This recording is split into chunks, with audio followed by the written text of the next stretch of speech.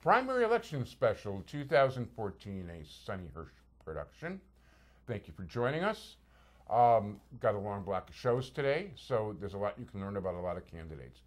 It is a pleasure to introduce you to a candidate for judge in the 10th Sub-Circuit, Katherine O'Dell. Katherine, how are you doing? Hi, thank you for having me again. It's an honor to be here. First of all, pleasure, and I'd like to thank Ed McElroy very much for helping make the arrangements.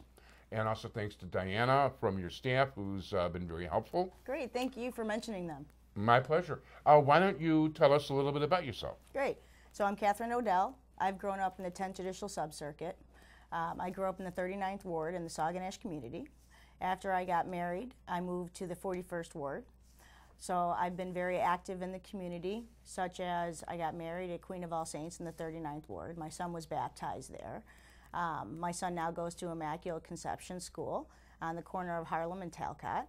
So that's basically about my family life. And um, as far as I'm concerned, I have started my legal career at the State's Attorney's Office, um, handling real estate tax matters, defending the Cook County Assessor, Board of Review Clerk's Office, and the Treasurer's Office, whether it be trying to defend the taxpayers' money or um, defending the tax sales that occur from people not paying their taxes.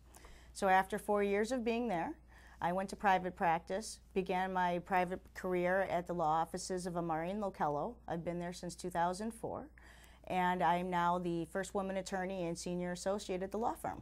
Very good. And what sort of uh, cases are you handling now? Uh, right now, we do real estate tax cases. Yeah. So uh, we file appeals trying to contest the overall market value of properties at the Cook County Assessor's Office and the Board of Review in Cook County as well as outside of Cook County. My general practice is inside of Cook County. And then I also um, handle litigation in the Circuit Court of Cook County. They're called specific objection lawsuits, trying to adjudicate cases to obtain partial refunds for taxes for prior years that were overpaid, as well as handling tax, uh, tax related matters at the Property Tax Appeal Board, which is a state of Illinois administrative hearing process. Very good. And um, you also you uh, graduated from John Marshall Law School. I did, yes, I did. I'm very proud of it. And I love the school so much that school gave me such an opportunity.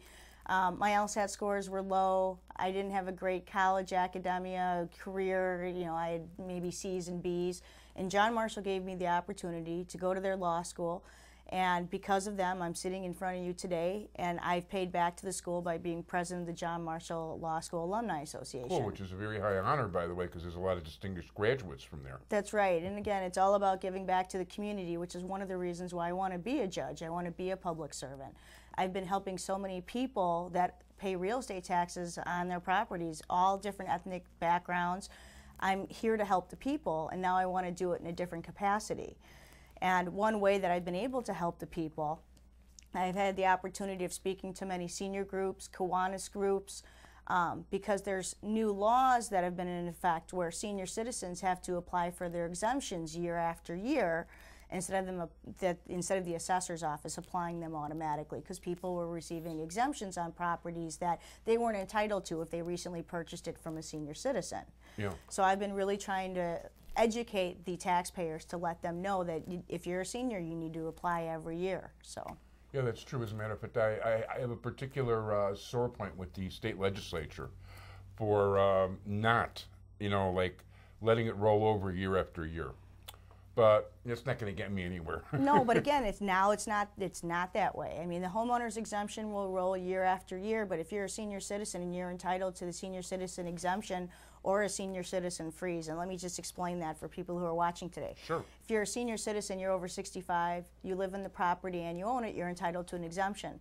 There's a second exemption that applies to senior citizens, same qualifications, but you have to have a household income of less than 55,000 and the assessor's office will actually place a freeze on the assessment over a period of time if they qualify. And if the senior citizens don't fill out the booklet that they receive in the mail, they're going to have to, they're not going to receive their exemption and have to actually go down to the assessor's office and apply for that year or apply to try get to get refunds because they didn't get that exemption when they should have in their second installment bill.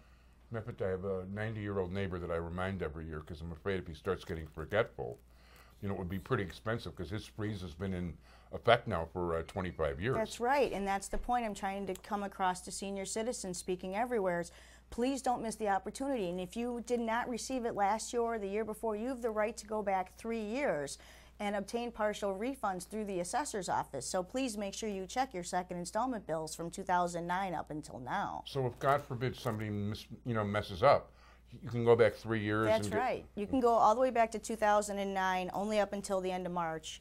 But then from there on, you can go from 2010 all the way up to the present. So, mm. you know, people don't understand the process. And unless somebody actually speaks to you, you call the assessor's office on the phone, you're not going to know. So, you know, again, that's one way I can give back to the community to explain to them the changes in the real estate tax law. Good. I'm learning something. That's good. No, you know, but again, I've been doing this. I, I've been speaking to groups once a week, once once every couple weeks, once a month. Any opportunity that that comes my way, just so I could help. No, it sounds good. That sounds really good.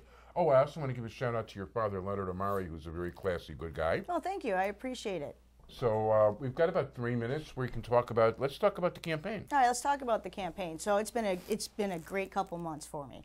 So I've been found qualified by the Illinois State Bar Association and the Chicago Bar Association. Um, we started campaigning. Um, anyone that lives in the northwest side of the city, as well as Park Ridge, Des Plaines, Glenview, Harwood Heights, a little bit of Norridge, they've either seen one of my 14 billboards in the city or 10 bus shelters. So my, my face is everywhere. It's everywhere. It's fun to watch. Um, that's one thing we've been doing, and I've gotten a lot of endorsements, even though I'm not the slated candidate, which includes the mayor of Harwood Heights. Nice. Uh-huh. Um, I've gotten the Chi- uh, Chicago Police Sergeants Association, the Cook County Sheriff's FOP Lodge 4.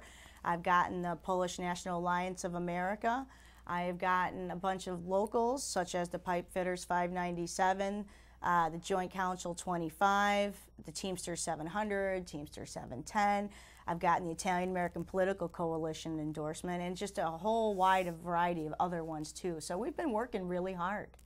No, it sounds it. It sounds it. No, it's a very impressive, uh, you know, list of uh, organizations behind you. Yeah, I'm very fortunate. You know, my husband's been a union member for 13 years. So um, the union endorsements are very important to me. He started off in the laborers, um, went to, through their apprenticeship program, and was in the laborers union for five years. And then he switched over to the local 63 ornamental and I, uh, ornamental iron workers, and he's been a journeyman in, in that capacity. And you know, it's a dangerous profession. So Sure is. you know, I'm very fortunate to um, to say that I'm I'm from a union family. Um, between that and then my services within the legal community, we talked about John Marshall. Um, I'm also very active in uh, the ethnic organiz- bar associations. Um, one of the largest in the in the uh, the state is the Justinian Society of Lawyers, and I'm past president of that. And I'm also Nice. thank you, and I'm also the associate editor of its newsletter that comes out uh, four times a year. So I assist in writing articles, proofing the articles, picking the photos for that. So I'm very honored to be part of the legal community, and, and I'm hoping to contribute one, if God bless, if I get elected to the bench. Well, good luck along those lines. That's for sure. Um, do you have a website? I do. It's uh, www.odellforjudge.com. We also have a Facebook website. It's uh, Katherine A. O'Dell for Judge in the 10th Judicial Subcircuit. So please get on Facebook, like it, share it, anything you can do to get the vote out because it's very important that people vote for judges. I agree, and uh, you should start on the bottom of the ballot and go from there, because so many of the races on the top of the ballot um, are uncontested. So you know, get your copy of Jewish Chicago. It's out on the streets. Okay, we, we've got a full review of all the judicial elections. Um, you know, there's there's uh, there's other place, places too where you can check reviews and all that. You know, do your homework, make a thorough review, and in your case, what number would you like them to punch? 172, 172. So punch 172 if you'd like to vote for Katherine O'Dell. I want to wish you all the luck in the world in the election. Thank you. And I want to thank Sonny Hirsch, who's uh, producing this election special. And thanks everybody for joining us. Bye bye.